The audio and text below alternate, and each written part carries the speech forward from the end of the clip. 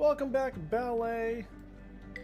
I promise you didn't miss a whole lot except for an extremely clever ruse from the chat where Graves straight up ordered me McDonald's delivery to get me to walk away, and I still haven't seen what damage they caused yet. I'm waiting to look at the VOD to see what the damage is. Here we go.